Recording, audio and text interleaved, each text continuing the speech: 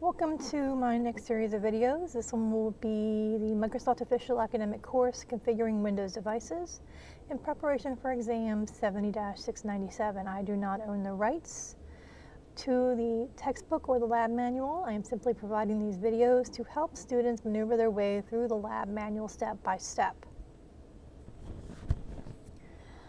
Okay, the first thing we're going to need to do is set up our machines. In the classroom, I actually have a live network set up with the machines that we're going to need. But for purposes of doing these videos, I'm using Hyper-V with all the machines under the Hyper-V. you can, of course, use any virtual um, application. I just like using Hyper-V because it's part of uh, Windows. Now I already have it installed and I will show you where that is. So we're going to go into Control Panel, Programs, turn Windows Features on or off, and you'll see I already have Hyper-V installed. Now when you go to install Hyper-V and you click on these check marks, you're going to have to reboot. Once you reboot, go back to here just to make sure you don't have any grayed out boxes.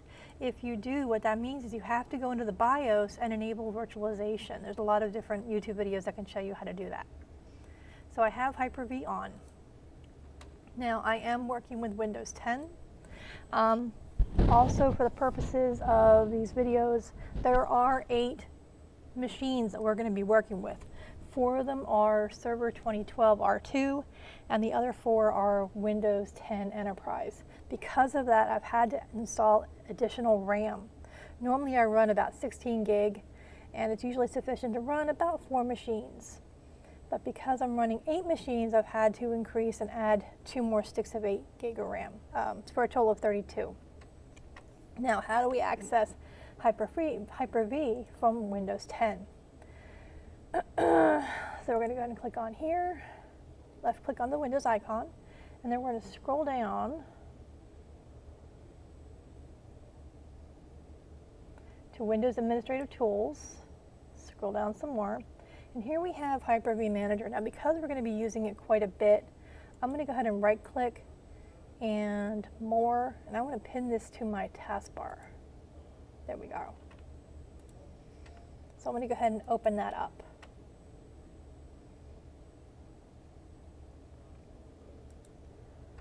We're not going to need this for right now. Okay, so here is my Hyper-V. Just a minute. Open up my um, Explorer. And I want to do a new folder. New folder 70-697 and I want to store everything inside this folder. So before we do anything else, what I want to do is click on Hyper-V Settings and change this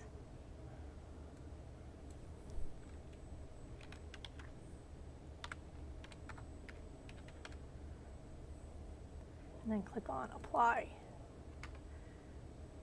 And then I want to do the same thing with virtual hard disks.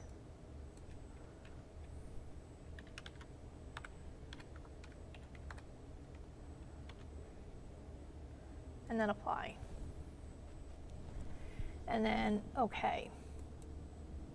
Now, the other thing we're going to need to do is create an internal switch and an external switch. So I'm going to click on Virtual Switch Manager.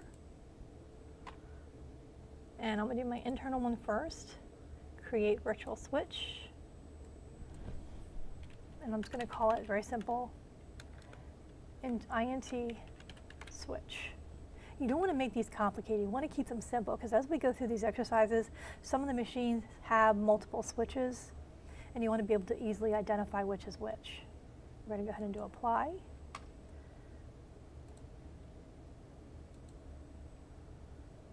And then I want to do a new virtual switch. This one's going to be external.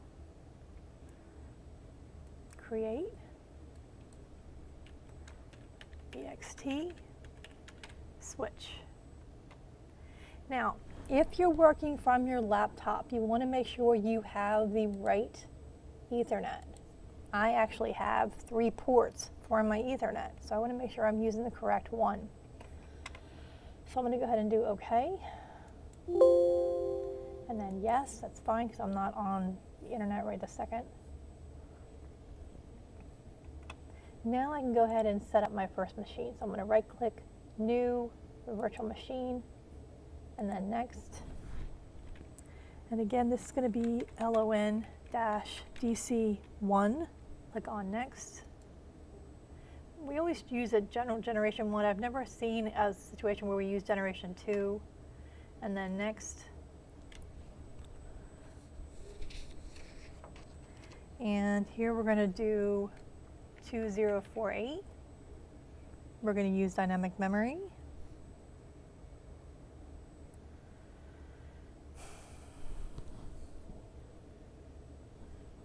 And then next. Now the instructions say to use a private network switch. So I'm going to skip this for now. And then here we want to do 50.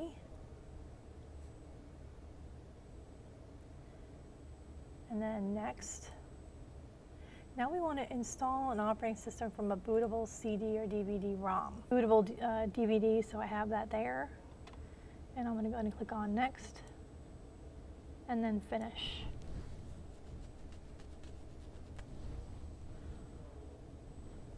so let me go ahead and boot it. So we've only installed the image. We haven't installed the machine yet.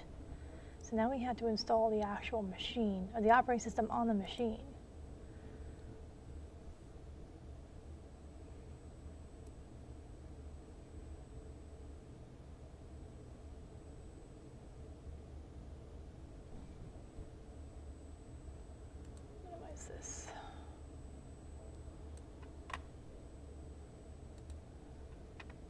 Comes up.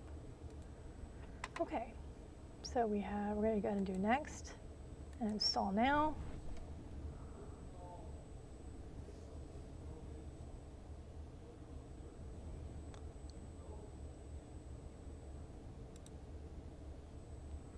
And we want to do standard with GUI. You don't want to do the core. We want to make sure we do standard with GUI. And I know it's with GUI if I extend it. And these are all 64-bit. And then we're going to go and do next.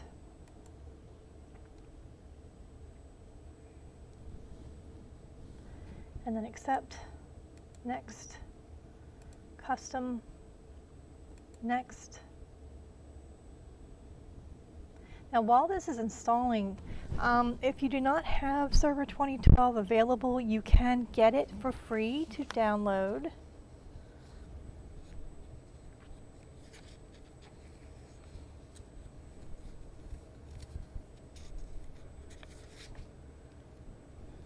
That site up. I did wrong. Let's try it one more time.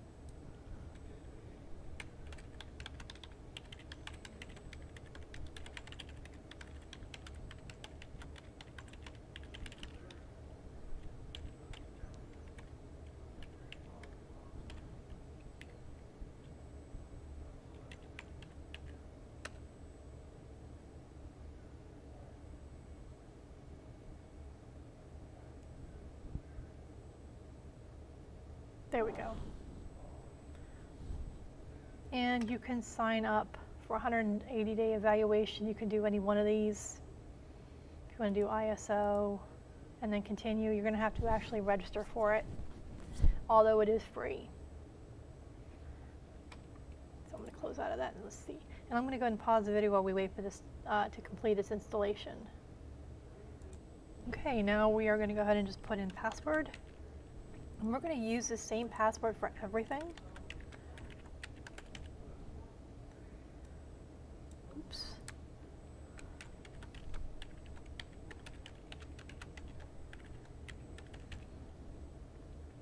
Okay, so that's going to be our password for everything that we do during these labs.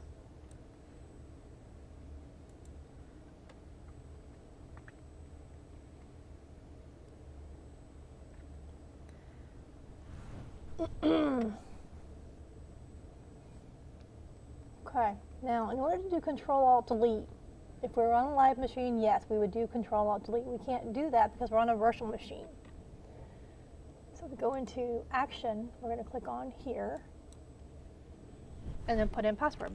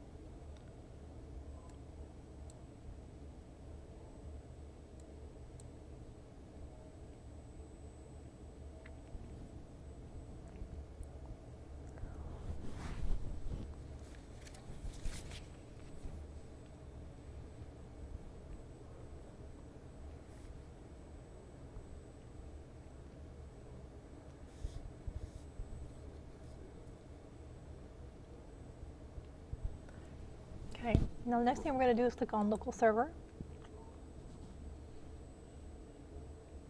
You'll see my ethernet isn't connected yet, but that's okay.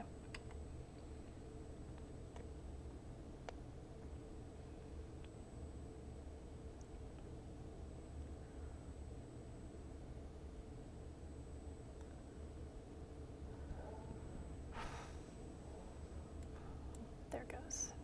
All right, time zone. We want to change our time zone and I happen to be on the eastern. And then okay. And then okay. Now the next thing we want to do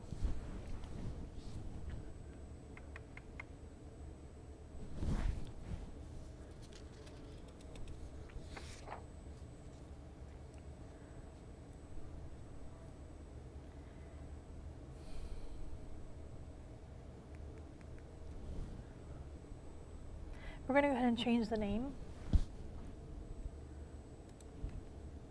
Now, a common mistake the students make is they try to put it here. That is not going to change the name.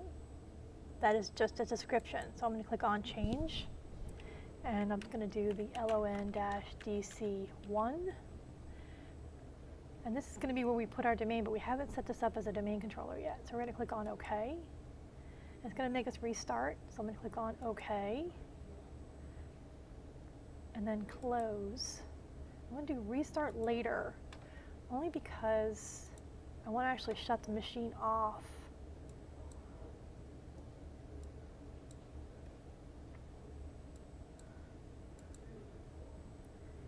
Go down here, right click, shut down.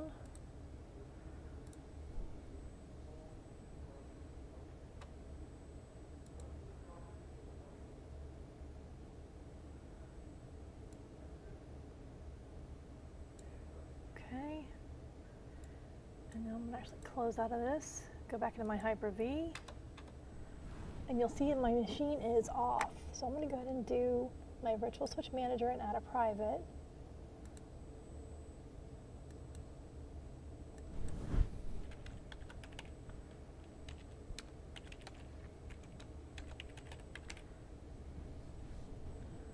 And then OK. Now while it's off, what I can do is go down in here under LONDC1 and click on Settings. Click on my network adapter, go my drop down, and then go ahead and choose Private. And then go ahead and click on OK.